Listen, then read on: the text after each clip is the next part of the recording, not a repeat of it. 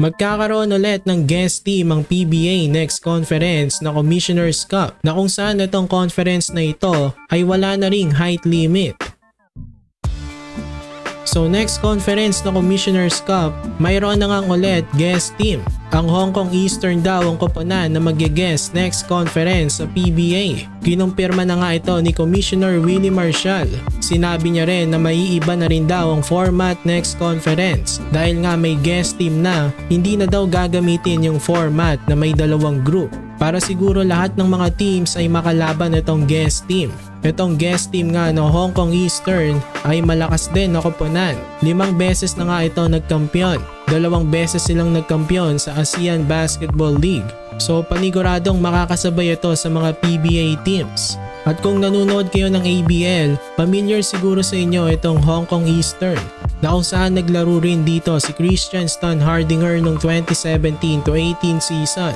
Itong koponan nga na ito ay ang defending champions ng ABL. So talagang malakas din itong guest team.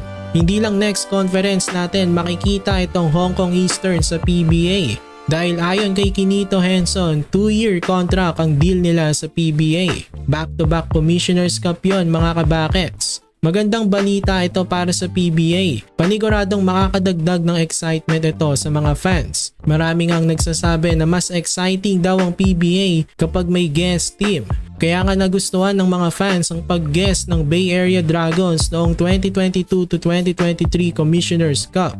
Ngayon, tinupad na nga ulit ng PBA ang mga request ng mga fans. Ang hindi nga lang matutuloy next conference ay yung may dalawang import kada team. Pero still a great news na may magge-guest next conference. May mga players ang Hong Kong Eastern na dating naglaro sa Bay Area Dragons nung nag-guest sila sa PBA Kasama nga sa Hong Kong Eastern sila Kobe Lam at Glenn Yang at magbabalik nga sila sa PBA. This time, target nila na masungkit ang kampyonato. So mga kabakets, anong masasabi nyo dito? Excited na ba kayo sa next conference ng PBA?